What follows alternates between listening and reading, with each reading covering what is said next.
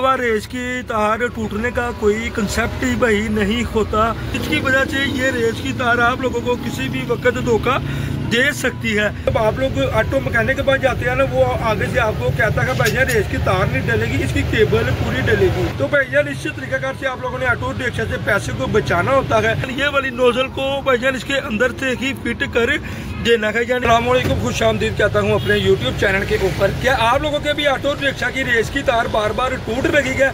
इसकी वजह एक ही रीजन होती है, दूसरी रीजन इसकी नहीं होती।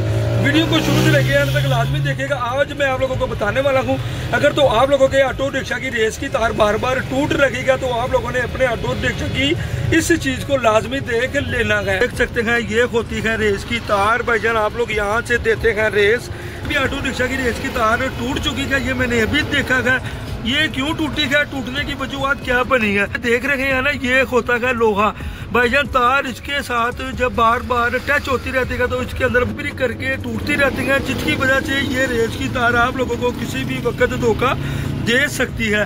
इसके अलावा कोई रीजन नहीं होती। इसका बेहतरीन हल ये होता है, जब आप लोगों ने ऑटो रिक्शा की रेस की तार डलवानी है तो आप लोगों ने भाईजान ये वाली नोजल को भाईजान इसके अंदर से ही फिट कर देना है, यानी कि ये बाहर की तरफ़ ना हो।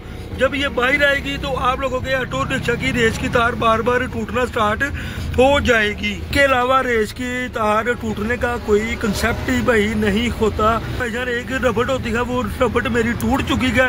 ये मुझे भी इलम नहीं था तो भाई भाईजान अभी मैंने चेक किया गया तो मेरे ऑटो रिक्शा की रेस की तार टूटने वाली है। यानी कि इसके अंदर दो या तीन तारें लगी हुई हैं अब जाऊँगा भाईजान ऑटो मैकेनिक के पास तो उसको कहूँगा भाईजान ये रेस की तार डाल के दे दे। ये वाली चीज़ों को आप लोगों ने भाई भाईजान खास ध्यान करना होता है। तो आप लोगों ने भाई भाईजान सवारियाँ बैठाई होंगी पैसेंजर बैठे होंगे अचानक से आप लोगों के ऑटो रिक्शा की रेस की तार टूट जाएगी। तो भाईजान तब आप लोग क्या करेंगे? अच्छा यहाँ पर एक बात मैं करना भूल गया था भाईजान अगर आप लोगों की ऑटो रिक्शा की रेस की तार टूट जाती है ना तो आप लोग कहते हैं, यार, मैंने अपने ऑटो रिक्शा की रेस की तार को डलवा लूँ। लेकिन जब आप लोग ऑटो मैकेनिक के पास जाते हैं ना, वो आगे से आपको कहता है भैया रेस की तार नहीं डलेगी, इसकी केबल पूरी डलेगी। भैया आपने कोशिश करनी है अपने ऑटो रिक्शा की रेस की तार नहीं डालनी है। तो भैया केबल आती है चार सौ, पाँच सौ रुपये की, साढ़े तीन सौ रुपये की, सौ रुपये उसकी मजदूरी। डालकर भैया वो आपको कोस्ट पड़ जाती है चार, साढ़े चार सौ या पाँच सौ रुपया।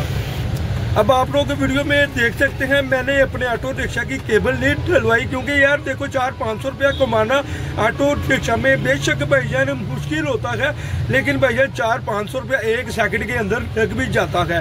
तो ये आप लोग अब वीडियो में देख सकते हैं, मैंने अपने ऑटो रिक्शा की केबल नहीं डलवाई, ताकि रेस की तार डलवाई है। तो भैया निश्चित तरीकाकार से आप लोगों ने ऑटो रिक्शा से पैसे को बचाना होता है पैसा बचाने का तरीका आप लोगों को आना चाहिए। अगर आप लोगों के ऑटो रिक्शे में कोई सा भी मसला बन जाता है तो भाई जान, वो आपसे बेहतर कोई नहीं जानता। आपने अपनी जेब से पैसा कैसे निकालना है?